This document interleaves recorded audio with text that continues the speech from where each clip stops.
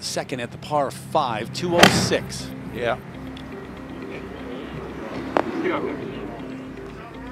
A third hole, just getting his round underway. He looks like he likes it. And as well he should. Pretty good. Uh, here a few years ago. Yes, I vividly remember that. His reaction.